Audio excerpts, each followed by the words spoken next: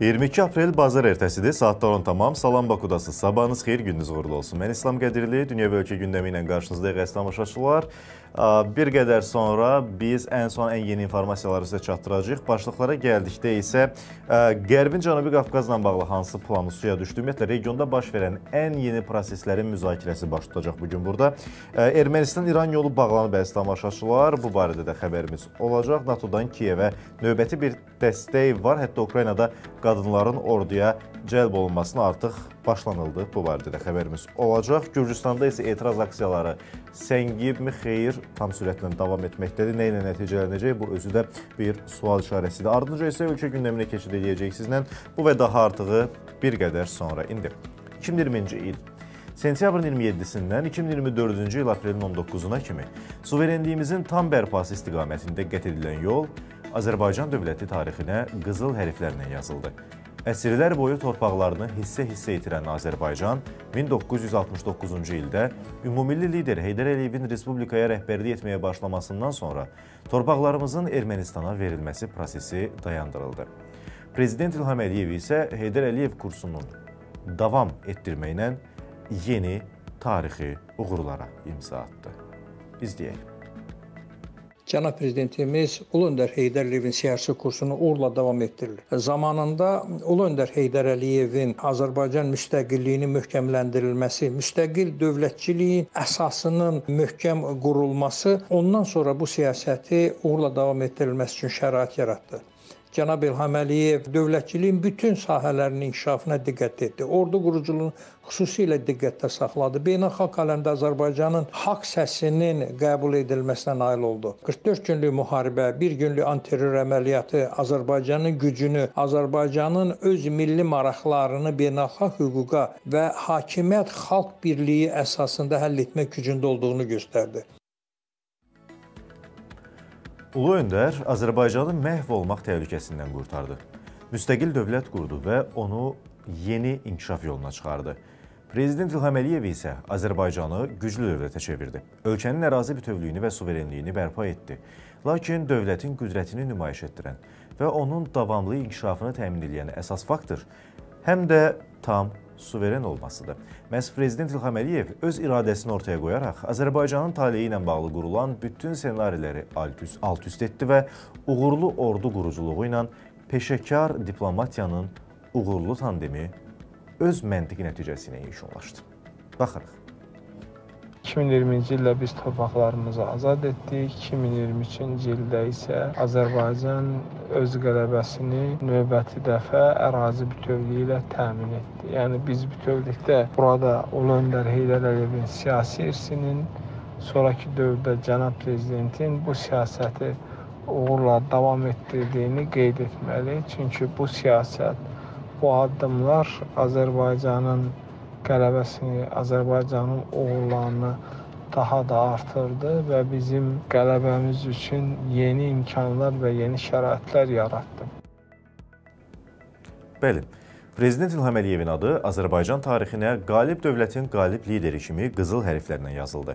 Və bu gün hər kəs bu iradə ilə hesablaşır. Bunun nəticəsidir ki, bu gün Azərbaycan Cənubi Qafqazın güclü və lider dövlətidir. Azərbaycan iradəsindən kənar Cənubi Qafqazda hər hansı planın həyata keçirilməsi artıq qeyri-mümkündür. Və əziz tamaşaçılar, bu aspektdə danışmaqdan əgər davam etsək, 2023-cü il dekabrın 7-sində Prezident Administrasiyası və Ermənistan Baş Naziri aparatı arasında hər hansı vasitəçi olmadan qəbul edilən birgə bəyanat Azərbaycanın növbəti uğurlarına təkan verdi. Həmin sənəddə Azərbaycan və Ermənistan bir-birlərinin ərazi bütövlüyü və suverenliyinə etimadlarını ifadə edib, sülh üçün tarixi imkanların olduğunu bir daha vurğulandı. Ermənistan COP29-u ev sahibliyi məsələsində də Azərbaycanın xeyrinə öz namizədliyini geri götürərək dəstəyini nümayiş etdirdi. Bu, eyni zamanda iki ölkə arasında diplomatik müstəvidə davam edən müharibənin sonu idi. 2024-cü il aprelin 19-da iki ölkənin yenə də heç bir vasitəçi olmadan sərhədlərin delimitasiyası üzrə işçi qrup səviyyəsində qəbul etdikləri bəyanat və bunun fonunda 30 ildə Ermənistanın işğalı altında olan 4 kəndin güllə atmadan Azərbaycana qaytarılması ölkəmizin növbəti uğur hekayəsi oldu. Baxaq. Qazan dörd kəndinin Azərbaycana qaytarılmağı ilə ilk dəfə Ermənistanla Azərbaycan arasında delimitasiya olunmuş dövlət sərhədi olacaq və biz həmin bölgədəki sərhədləri şərti sərhədlər adlandırmayacağıq.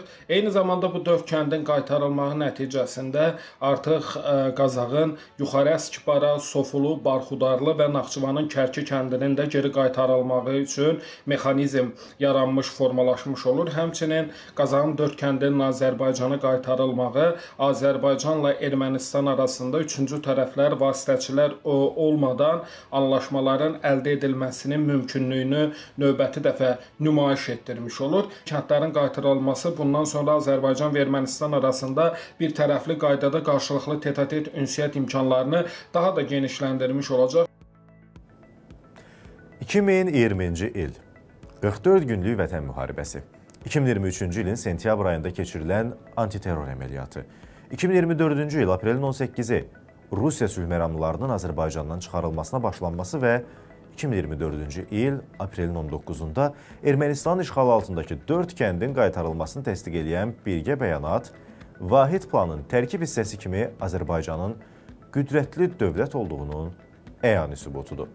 Bu xronoloji ardıcıllıq həm də ölkəmiz əleyhinə daxildən və xaricdən yönələn bütün neqativ fikirlərə Prezident İlham Əliyev siyasətinin tutarlı cavabıdır.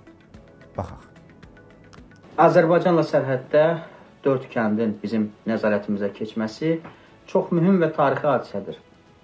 Azərbaycan diplomatiyasının uğuru cənab prezidentin praqmatik siyasətinin nəticəsi kimi qiymətləndirilir.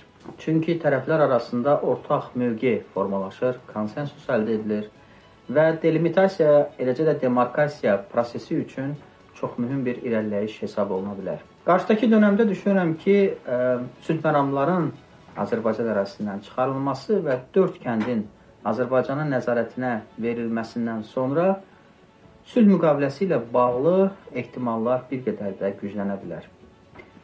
Və eyni zamanda iqtisadi və nəqliyyat əlaqələrinin bərpa olunması, delimitasiya prosesinin daha da inkişaf etdirilməsi tərəflərin siyasi gündəliyini əhatə edəcəkdir. İndi xanımlar və beylər, Azərbaycan və Ermənistan arasında aparılan sakit və vasitəçisiz diplomatiya onu göstərir ki, xüsusilə Birləşmiş Ştatlar və Fransa kimi neoimperialist qüvvələrin müdaxiləsi olmasa, iki ölkə sülhün əldə olunması istiqamətində ciddi nəticələrə imza ata bilər. Ermənistan öz maraqlarını sivil qaydada davranaraq təmin etməyə çalışsa və başqalarının əlində alət olmasa, regionda davamlı sülhdə tam şəkildə təmin oluna bilər, əziz tamaşaçılar. İndi biz bütün bu baş verən dəyişiklikləri və yenilikləri siyasi şərhçi Zeynal Əmrəliyevlə müzakirə edirik. Zeynal müəllim, xoş gördük, sabahınız xeyir. Xoş gördük İslam bəy, hər vaxtınız xeyir.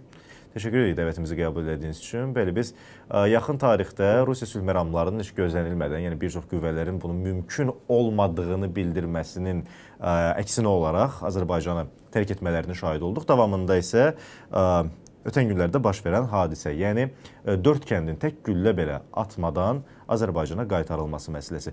Bunlar bir-birinin e, maraqlıdır ki, məntiqi davamı hesab oluna bilərmi və elədirsə bizi növbəti olaraq nə gözləyir? Bu mənə maraqlıdır. Yəni bundan başlayaq davamında artıq yavaş-yavaş detallara varaq. Buyurun. Dörd kəndin qaytarılması şübhəsiz ki, Azərbaycanın e, böyük uğurudur. Yəni Azərbaycan dövləti e, diplomatik manevrlərlə Sizin də qeyd etdiyiniz kimi Qərbin ABŞ və Fransa bu regionda böyük təxribatlar planlaşdırırdılar və davamlı şəkildə Ermənistan rəhbərliyi ilə bununla bağlı müzakirələr gedirdi. 5 aprel Brüssel görüşü məsələn buna misal idi. Həmin görüşdə Ermənistana müxtəlif vədlər verilmişdi və Azərbaycan diplomatiyası bütün bu cəhdlərin hamısını sıradan çıxardı. Bu birbaşa dövlət başçısı cənab İlham Əliyevin yeritdiyi siyasətin e, nə qədər parlaq olduğunu, düzgün olduğunu göstərir. Azərbaycan ordusu həm 44 günlük vətən müharibəsində, həm antiterror əməliyyatında böyük uğur qazanmışdı və Azərbaycan diplomatiyası da həmin hərbi uğurları diplomatik masada ə, e, həll variantına çevirə bildi və nəticə olaraq da bu gün Qazağın 4 kəndi Azərbaycana qaytarıldı. İndi biz Ermənistan tərəfdə bununla bağlı kəskin etirazlar görürük. Ə, bəzi təxribatçı qruplar həmin insanları küçələrə axışdırıblar. Bununla bağlı orada əvvəllərdən ə, təxribat planla planlaşdırılması gedirdi. Müxtəlif qruplar, hansı ki, bura ə, Fransa səfiri məsələn dəfələrlə həmin regionu ziyarət etmişdi. Keçmiş Müdafiə naziri Seyran Ohanyan dəfələrlə həmin bölgəyə deputatları göndərmişdi öz fraksiyasından olan müxtəlif silahlı təxribatçı qruplar fəaliyyət göstərdi, ancaq bu bizim məsələmiz deyil. Bu Ermənistanın öz daxili məsələsidir və ə, Paşinyan hökuməti həmin məsələlərin həlli ilə də məşğul olmalıdır. Yəni ə, ə, bizim ə, bizlik bir məsələ deyil bu. Həmin kəndlər Azərbaycana təhvil verilməlidir hansı ki qeyri-anklav kəndlərdir. İndi anklav kəndlərlə bağlı da müzakirələr gedəcək və onunla bağlı da mütəmadi məlumatlar veriləcək. Və bu bir daha ə, nəyi göstərdi? Və bir, daha onu göstərdi ki, Azərbaycanla bağlı Azərbaycan müharibə edəcək deyirdilər. Ə, hər hansısa bir təxribatın planlaşdırılmasına söhbət gedirdi. Ancaq ə, Azərbaycan diplomatiyası bütün bunları alt-üst etdi və bir daha göstərdi ki, Azərbaycanın müharibə etmək kimi bir planı yoxdur. Aydındır və bir də bu yaxınlarda, yəni ən azından bu gün Rusiyada Azərbaycan və Rusiya prezidentlərinin görüşü gözlənilir. Bu barədə də istərdim şərh verəsiniz. Yəni bu görüşdə nələr, nə kimi məsələlər müzakirə oluna bilər, bizi nələr gözləyir? Buyurun. Azərbaycan prezidentinin Rusiyaya səfəri ilk növbədə iki dövlət arasında çox güclü bir yaxınlaşma müşahidə olunur və Azərbaycan və Rusiya arasında həm siyasi müstəvidə, həm iqtisadi müstəvidə e, əlaqələr e, gücləndikcə inkişaf edir. E, bu həm cənab prezident İlham Əliyevin, həm də Rusiya prezidenti Vladimir Putinin yeritdiyi regional siyasətin nəticəsidir və Azərbaycan və Rusiya arasında regional əməkdaşlıq hər iki dövlət üçün böyük xeyirdir. Bu dəqiqə Rusiyanın Azərbaycana regionda Azərbaycan kimi müttəfiqə ciddi şəkildə ehtiyacı var. Çünki məlum məsələlər Ukrayna Ukrayna müharibəsi, yaxın şərqdə baş verənlər, İran-İsrail gərginliyi və bütün bu hadisələrin fonunda regionun ən güclü dövləti olan, Cənubi Qafqazın ən güclü dövləti olan Azərbaycanla əməkdaşlıq Rusiya və digər ölkələr üçün vacib həyati əhəmiyyət daşıyır. Buna görə səfərə biz e, bu nüansdan baxa bilərik. E, həm də ki, e, Azərbaycan və Rusiya arasında əlaqələrin inkişafı məlum olduğu kimi Rus qoşunlarının artıq Bakıdan çəkilməsi planlaşdırılır, daha doğrusu Xan kəndindən çəkilməsi planlaşdırılır və digər bu kimi məsələlər Azərbaycan və Rusiya arasında hal-hazırda əməkdaşlığın yeni formatı qurulmaqdadır. Bu regional əməkdaşlıq formatı Təşəkkürlər Bəli. Zeynal müəllim. Sizin görüntünüzdə bir qədər donma var. Ona görə çox üzr istəyirəm ki, tez kəsmək olacağam bu söhbəti, amma bu yerə qədərki şərhləriniz çox əhəmiyyətlidir. Təşəkkür edirəm sizə. Çox sağ olun. Əziz tamaşaçılar, mən bir daha xatırladım. Siyasi şərhçi Zeynal Əmrəliyev idi. İnternet bağlantısındakı texniki məsələyə görə üzrlü sayarsınız. Ümid edirik ki, bu məsələnin davamını növbəti efirlərdə də müzakirəyə davam eləyərik. Baxın, bu məsələlər və bunun kimi bir çox aktual mövzular bir qədər sonra qarşınızda olacaq əziz tamaşaçılar. Yeri gəlmişkən biz Azərbaycan uğurlarından danışırıq. Bu arada Füzuli şəhərində növbəti köç karvanı da yola salındı. Ölkənin müxtəlif ərazilərində yataqxana, sanatoriya, yarımçıq tikililər və inzibati binalarda müvəqqəti məskunlaşmış ailələrdən ibarət növbəti köç karvanı aprel 22-sində Bakı şəhərinin Qaradağ rayonundan yola salınıb. Bu mərhələdə Füzuli şəhərinə daha 39 ailə 172 nəfər köçürülüb. Xatırladım ki, indiyədək Füzuli şəhərinə 705 ailənin, yəni 2689 nəfərin daimi məskunlaşması təmin edilib. Baxaq.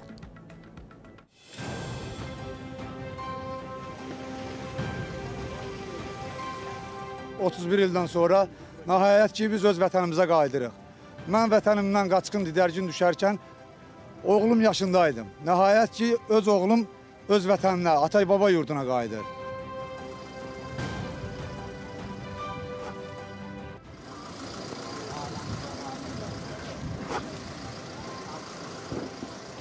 Füzuli rayonundan qaçqın düşəndə 19 yaşım vardı. İndi ailəmlə gedirəm, övladlarımla gedirəm. Şükür bu günümüzə. Allah prezidentimizə can sağlığı versin. Şəhidlərimizə Allah rəhmət eləsin, qazilərimizə can sağlığı versin. Bu sevinci bizə yaşatdı.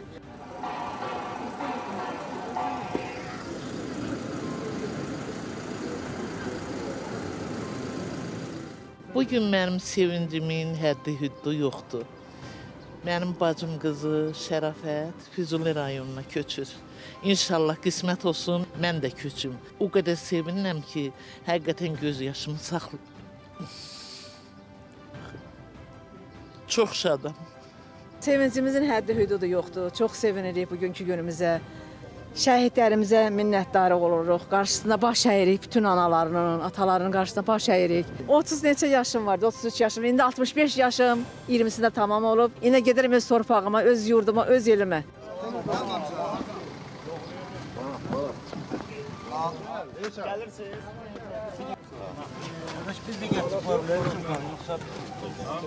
Bu gün şükürlər olsun ki, elimizə, obamıza, Füzuli rayonuna gedirik. Mən hardasa 5-6 yaşımda çıxmışam Füzuli rayonuna. Çox sevinirik, həyəcanlıyıq. Aləmlə gedirəm, şükürlər olsun.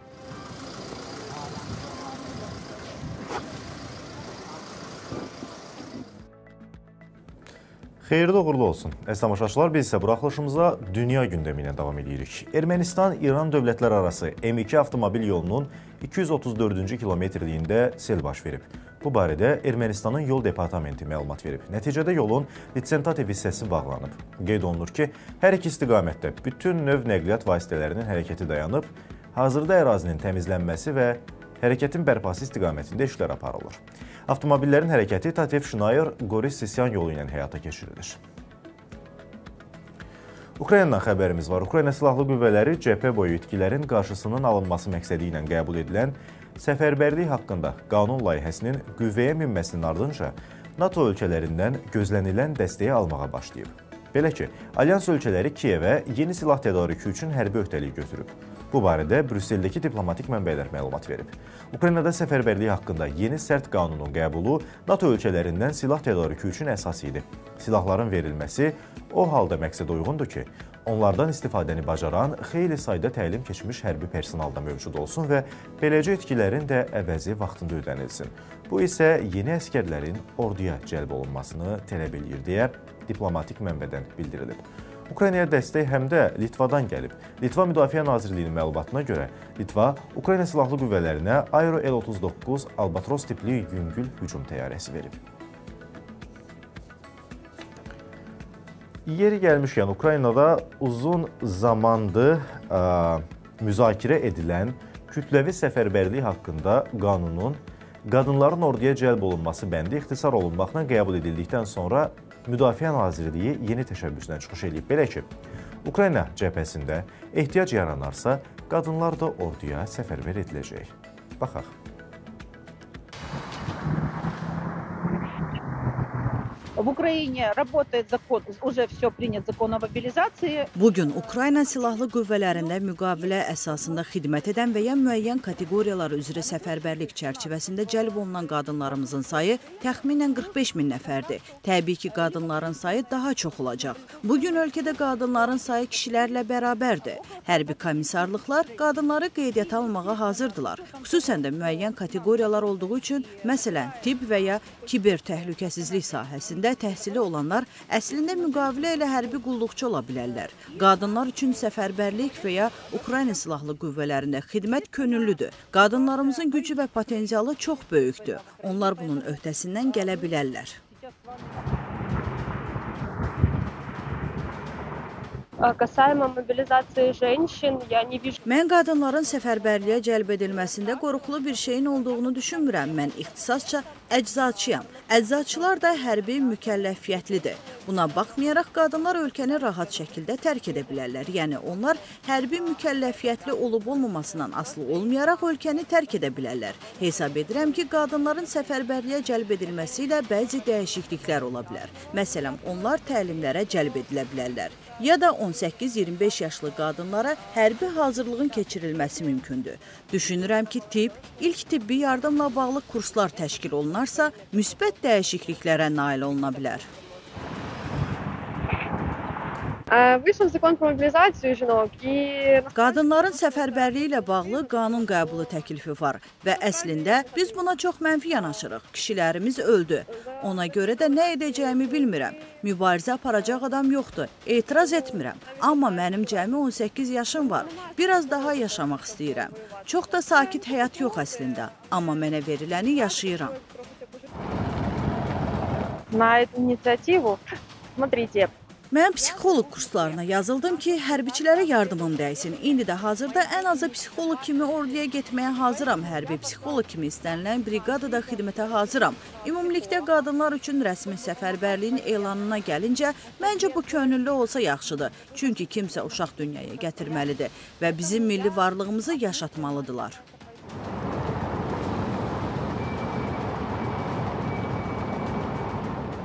Я реагирую, в принципе, на это нормально. Mən bunu çox normal qarşılayıram. Əgər bizdən Ukraynanı müdafiə etmək tələb olunarsa, deməli müdafiə etməliyik. Orduya getmək lazım gələcəksə gedəcəyik. İstər qızlar, istər oğlanlar müdafiə edəcəyik. Hazırda atam və babam döyüşürlər, ölkəmizi müdafiə edirlər. Atam yaralanıb, ona görə də mən hazıram. Ümumiyyətlə Ukraynalı qadınların səfərbərliyə tam hazır olub olmamasına gəlincə, məncə bu 50-nin 50-yədir. Bir qismi hazırdır, bir qismi yox. Onu da qeyd edeyim ki, yaz aylarının ilk günlərindən Ukrayna müharibəsində vəziyyət yenidən aktiv fazaya keçib. Hava hücumları kəskin intensivləşib, əziz tamaşaçılar. Dünyanın bir digər nöqtəsi Gürcüstanda nələr baş verir? Bəli, Gürcüstanda xarici təsirin şəffaflığı haqqında qanun layihəsinin qəbuluna etirazlar davam edir. Aprelin 15-dən başlayan aksiyaların 7-ci günüdür. Aksiya iştirakçıları Tbilisidə parlament binası qarşısında toplaşaraq müxtəlif şüarlar səsləndiriblər. Aksiya ilə əlaqədar parlament binasının ətrafında və daxilində təhlükəsizlik tədbirləri gücləndirilib. Qeyd edeyim ki, aprelin 17-sində Gürcüstan parlamenti Hakim Gürcü Arzusu partiyasının təqdim etdiyi xarici təsirlərin şəffaflığı haqqında qanun layihəsini birinci oxunuşda dəstəkləyib. Parlamentin 83 deputatı qanun layihəsinin lehinə səs verib, qanun layihəsinin qüvvəyə minməsi üçün isə parlamentdə daha iki dinləmədən keçməlidir. Az sonra ölkə gündəmindən danışacağıq. Bilirsiniz, ata və qızı Kür çayında boğulan ata və qızın axtarışı başa çatıb. Bu barədə xəbərimiz olacaq. Türkiyə mallarının ucuzlaşacağı deyilir. Nəyə görə? Ekspert rəyimiz var, əziz tamaşaçılar. Bərdədən sizdən gələn şikayətlər var, onları araşdırmışıq. İlanlar yaşayış evlərinə hücum edilmiş və sonda havanın necə olacağı barədə. Çünki dünən çox gözəl hava var idi, bu gün isə güclü külək müşahidə olunur. Bu hava nə formada davam eləyəcək? Bu barədə xəbərimiz olacaq. İndi dünyanın digər nöqtələrində nələr baş verir? Sürətli və qısa şəkildə dinləyək, davamında studiyamızda görüşürük. Buyurun. Amerika Birləşmiş Ştatları və NATO hələ də Ukraynaya yeni silah tədarükü ilə bağlı gecikməyib, lakin bu gecikmə real nəticələrə səbəb olub. Bunu NATO-nun baş katibi Jens Stoltenberg deyib. Bildirib ki, Rusiyanın daha çox döyüş sursatı var. Ukraynalıların cəbhə xəttinin hissəsindən asılı olaraq artilleriya mərmiləri çatışmazlığı var. Biz görürük ki, hava hücumundan müdafiə sistemlərinin olmaması səbəbindən getdikcə daha az Rusiya raketləri və puaları vurulur, deyə o bildirib. Amerika Birləşmiş Ştatları və Filippin Cənubi Çin dənizində artan gərginlik fonunda illik Balikatan 2024 hərbi təlimlərinə başlayıb. Məqsəd həqiqətən müharibəyə hazırlaşmaqdır. Burada gizlədilməli heç nə yoxdur. Ordunu hazırlamasaq bu ölkəyə xələl gələcək deyə Balikatan 2024-ün sözçüsü Michael Lokigo bildirib. O qeyd edib ki, Birləşmiş Ştatlar Filippində SM-6 zenit raketləri yerləşdirib, lakin o təlim zamanı istifadə edilməyəcək. İsrail yaxın günlərdə Fələstinin radikal Həmas hərəkatına hərbi və siyasi təzyiqi artırmaq niyyətindədir. Bunu İsrailin baş naziri Benyamin Netanyahu deyib. Bildirib ki, bu girovlarımızı azad etmək və qələbəyə nail olmaq üçün yeganə yoldur. Netanyahu xatırladıb ki, 133 İsrailli hələ də Qəzza zolağında girov saxlanılır. Onun sözlərinə görə Həmas nümayəndələri onların azad edilməsi ilə bağlı bütün təklifləri qəti şəkildə rədd etməkdə davam edir.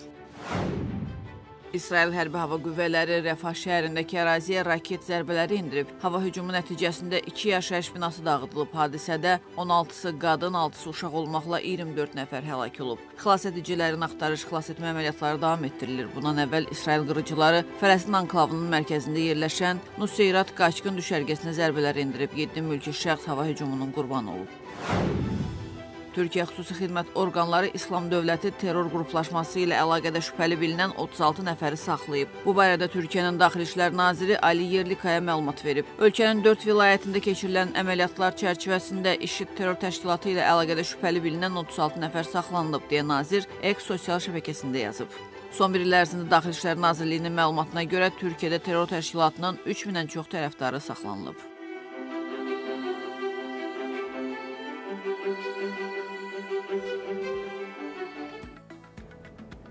Xanımlar, beylər, bir daha sabahınız xeyir, gününüz uğurlu olsun. Biz isə bugün sizə dünya və ölkə gündəmindən danışıb, davamında qəzetlərimizin də başlığını çatdırmağa çalışacağıq. İndi baxaq görək qəzetlərimiz nələrdən yazır, gündəm nələrdir. Əlimdə həftəlik dərc olunan Kaspi qəzeti var. Baxaq Kaspi qəzetinin bugünkü başlıqları nədən ibarətdir? Deməli, Hədəfə doğru növbəti addım başlığı Kaspi qəzetinin də əsas birinci manşetidir. Xalq olaraq tarixi anlara şahidlik etməliyik. 2020-ci il müharibəsindən sonra Azərbaycan suveren ərazilərində yerləşdirilən Rusiya sülhməramları ölkəmizi tərk eləyir və digər məsələlər də e, bu başlığın altında cəmləşdirilib əziz tamaşaçılar. Ölkəmizdə il ərzində vəfat edən kişilərin təxminən yarısı pensiya yaşına çatmayanlardır. Bu statistika yenidən pensiya yaşına çat çatmadan vəfat edənlərin pensiya kapitalının taliyi məsələsini gündəmə gətirir. Bu məsələni isə səhifə 7-də ömrü yarıda pulu havada qalanlar başlığı ilə e, işıqlandırır Kaspi qəzeti. Növbəti başlığa gəldikdə isə Azərbaycanda mebel istehsalı sahəsində yerli bazarın inkişafı ithal statistikasının azalmasına səbəb olub. Müşahidələr göstərir ki, müştərilər artıq yerli mebellərə daha çox üstünlük verməyə başlayıblar. Bax belə. Deməli, turizm məsələlərinə toxunulub. Erməni məntiqsizliyi və dünya məntiqi deyə növbəti bir başlıq var. Deyir, qanunsuz pulların yuyulması ilə ad çıxarmış separatçılığa dəstək verən Ruben Vardanyanın Nobel mükafatına namizəd irəli sürülməsi erməni xalqının növbəti tragikomediyasının təzahürüdür. Bax belə əziz tamaşaçılar, bu məsələdə təbii ki, əslində çox müzakirə olunmalı məsələdir. Kimin barmağı, kimin əli var idi ki, Vardanyan Nobel sülh mükafatına namizəd göstərilmişdi. Növbəti Şərq qəzetinin başlıqlarına gəlin baxaq. Dedi, yeni qayda təsdiq edildi. Yalnız bu qadınlar pensiyaya çıxa biləcək. Baxın, yalnız valideynlərini itirmiş və ya valideyn himayəsindən məhrum olmuş, uşağı övladlığa götürüb 8 yaşına dək tərbiyə edən həmin kateqoriyadan olan qadınların, eləcə də əlilliyi müəyyən edilmiş uşağı olan şəxslərin erkən pensiyaya hüququ yaranacaq. Bu da yeni qaydadır. İranın Pakistandakı konsulluğuna girən şübhəli şəxs saxlanılıb əziz tamaşaçılar. Nazirlik məlumatına görə saxlanılan şəxs saxta partlayıcı jilet geyinib paytaxtın 16-cı məhəlləsində yerləşən İran konsulluğunun ərazisi tamamilə əhatəyə alınıb və çoxsaylı polis qüvvələri hələ də hadisə yerindədir. Sosial şəbəkələrdə bir video yayılmışdı. Taksi avtomobillərinin kütləvi qaydada yol polisi tərəfindən cərimə meydançasına aparılması ilə bağlı sosial şəbəkələrdə video yayımlanıb. Videoda üzərində reklam olan avtomobillərin müvafiq sənədinin olmadığı üçün Dövlət Yol Polisi tərəfindən cərimə meydançasına aparıldığı iddia olunurdu. Məsələ ilə bağlı Bakı şəhər Dövlət Yol Polisi idarəsinə sorğu ünvanlanıb və məlumat verilib ki, onlar sadəcə cərimə borcları olub ödəmədikləri üçün cərimə meydançasına aparılıblar. Bu da normal bir haldır. Bax belə. Qazaxın 4 kəndinin qaytarılması Şərq qəzetinin növbəti manşetləri sırasındadır. Prezident İlham Əliyevin növbəti diplomatik qələbəsi kimi də vurğulanır. Rusiya və Azərbaycan prezidentləri Moskvada görüşəcəklər. Bu məsələ Kremlin məlumatında bildirilib ki, dövlət başçıları Heydər Əliyevin SSR Nazirlər Sovetində işlədiyi illərdə tikintisinə rəhbərlik etdiyi Baykal-Amur magistralının veteranları ilə də görüşəcəklər əziz tamaşaçılar. Bu arada Ombudsmanla əlaqədar yeni vəzifə müəyyənləşib. Azərbaycan Respublikasının İnsan Hüquqları üzrə müvəkkili dövlət icbari şəxsi sığorta ilə bağlı Dövlət Sosial Müdafiə Fonduna təqdim edilməli olan sənədlərin rəsmiləşdirildiyi gün həmin sənədlərdəki məlumatı Dövlət icbari şəxsi sığorta alt sisteminə daxil eləyəcək. Bu da növbəti bir sistem dəyişikliyi kimi vurğulana bilər. Azərbaycan sabitlik adasına çevrildi bütün hədəflərə çatdıq. Bu məsələ şərh olunub Şərq qəzetində və erkən parlament seçkilərinin olacağı da gözlənilən əziz tamaşaçılar bu məsələdə gündəmdədir. Növbəti və son olaraq təklifim bundan ibarətdir ki, gəlin bir 525-ci qəzetin başlıqlarına da nəzər salaq. Bugün 525-ci qəzet olduqca qalın dərc olunub. Bu səhv etmirəmsə 20 apreldə dərc olunan qəzetdir, nüsxədir. Deməli, burada da elə Bakı Fransız liseyinin bağlanması, İlham Əliyevin növbəti parlaq qələbəsi və digər məsələlər ön plana çıxarılıb. Ceyhun Bayramov Fələstin baş naziri ilə qəzetədəki vəziyyəti müzakirə etmişdi. Bu məsələni ön plana çıxarır 525 5-ci qəzet əziz tamaşaçılar. Bax belə, bununla da qəzetlərimizin gündəminə nəzər salmış olduq və keçid edək artıq ölkə gündəminə. Ata və qızının axtarışı başa çatıb əziz tamaşaçılar. Aprelin 12-sində Kür çayının Ağcabədi rayonu Nəcəf Qulubəyli kəndi ərazisindən keçən hissəsində batmış ata və qızın axtarışları başa çatıb. Belə ki, 2018-ci il təvəllüdlü Süleymanlı Səma Vaqif qızının meyidi batdığı yerdən təqribən 3 kilometr uzaqlıqda tapılıb və çıxarılaraq aidiyyatı üzrə təhvil verilib. Baxaq.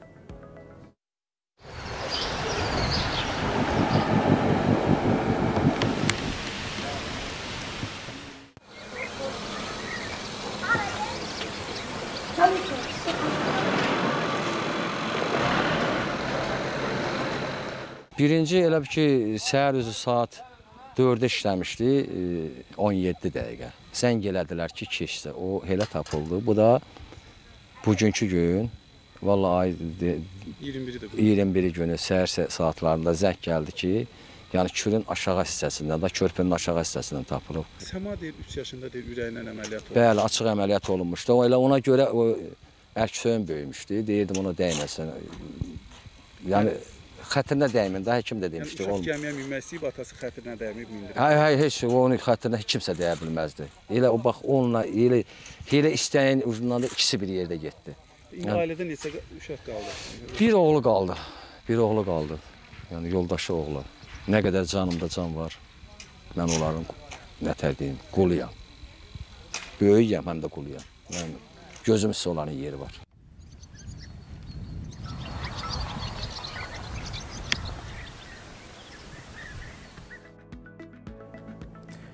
Davam edirik. Azərbaycanla Türkiyə arasında gəlirlərə görə iki qat vergi tutma aradan qaldırılacaq. Milli Məclisdə bununla bağlı sazişin təsdiq edilməsi barədə qanun layihəsi müzakirəyə çıxarılacaq. Bəs iki qat vergi tutmanın aradan qaldırılmasının əhəmiyyəti nə olacaq? Gəlin izləyək.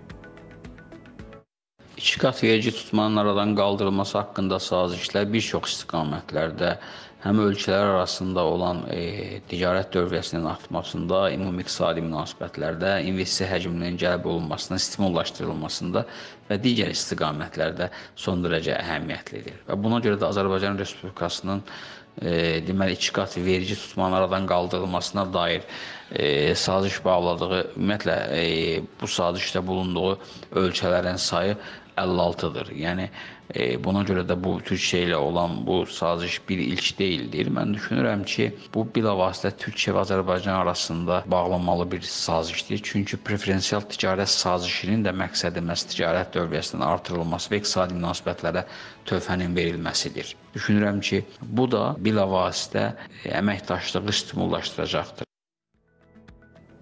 İqtisadçı Eyüp Kərimli isə deyir ki, iki qat vergi tutmanın aradan qaldırılması Türkiyədən idxal olunan məhsulların ucuzlaşmasına səbəb olacaq.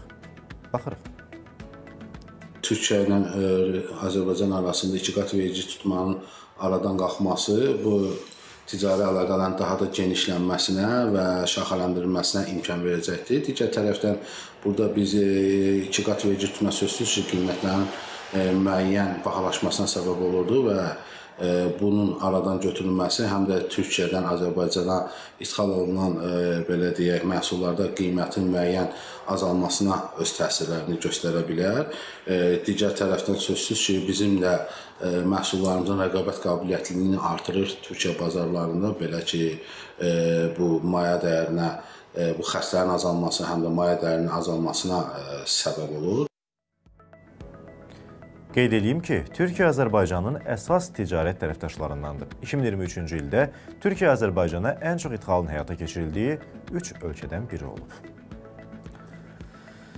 Biz ölkə gündəmi ilə davam etdirik. Əziz tamaşaçılar, Bərdə şəhərinin Heydər Əliyev prospektində müvəqqəti məskunlaşmış keçmiş məcburi köçkün ailələrinin yaşadıkları ərazi ilanların məskəninə çevrilib. Sakinlərin sözlərinə görə burada tez-tez qızıl ilan və gürzələr gözə dəyir. Baxaq. Çoxdur, ilan çoxdur, dəhşətdir. Orada gəlinim, xəstə gəlinim var, xəstə oğlum var. İraq olsun, onu çalardı, evə girərdi. Ma elə gəl ki, qızıl ilandı. Ya yeddi qardaşdı bunlar. Əvvəldə görünüb? Elə bax belə görünüb. Yedisini bir dəfə öldürüblər. Hı -hı. Bir, bir il bundan qabaq. Ondan sonra 3-4 dənəsini öldürüblər. Sonra da bax belə bir-bir çıxır. Gördüyümüzü öldürüb, görmədiyimizdə çıxır gedir. 7-8 dənə öldürmüşəm indiyə qədər. Bu həyətin qabağında doludur. Pasayan yerlər betonun altından divarın altından vurub çıxıb gəlir lazım bəri. Ev sahibləri bildirir ki, ilanların həmin ərazidə çox olmasının səbəbi ətrafı kol-kos basmasıdır. Baxaq əstəmişlər. Görürsüz köhnə idarənin həyətləridir. Ha burdan hamısı barının altı ilə susuzlayırlar, suya zada çıxıb verirlər. Buralar elə biz də görəndə öldürürük. Tuta bilmədiyimizə, elə bir öldürə bilmədiyimizə qaçıb gedirik. O gündən öldürmüşük, birini də dünən axşam öldürük. Həmişə mən burada otururam. Yoldaşım görüb tükübdü ha, buradan gəlir. E, bir ya, yanında bir ağac var deyirəm, onunla vurdu, öldürdü. Çox bərbad gündədir buralar qardaş. Xahiş edirəm. Bura kim baxırsa, gəlsinlər bura bir əncam eləsinlər. Gör bax nə qədər yer var. Bax, bunun biz nətər imkanımız yoxdur valla çal, şey eləyək, çaldıraq, qadan alım. Deyən gəlsinlər dərmanlasınlar, qapını çaldırsınlar, başına dönüm sizlə. Məsələ ilə bağlı Bərdə rayon icra hakimiyyətindən bildirilib ki, sözügedən ərazidə səliqə sahman və dərmanlama işlərinin aparılması üçün aidiyyəti üzrə tapşırıqlar verilib və növbəti həftənin ilk iş günlərində təmizlik işlərinə başlanılacaq. Və sonda hava haqqında Milli Hidrometeorologiya Xidmətindən verilən xəbərə görə havalar yenidən soyuyacaq. İzləyə görək bizi bu həftəyə hansı hava şəraiti gözləyir? Bax, buyurun.